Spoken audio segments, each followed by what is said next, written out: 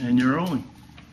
Hi, my name is Timothy Gager, and I am reviewing uh, a section of the book, uh, How to Train a Rock by Paul Steven Stone, and that section is called Boys and Girls Together.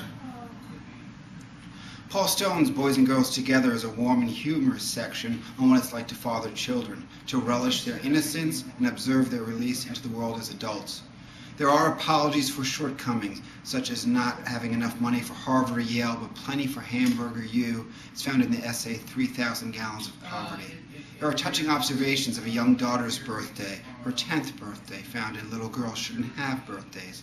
Also, a very touching moment of a father walking his very young son on a seawall. The father contemplates his own life.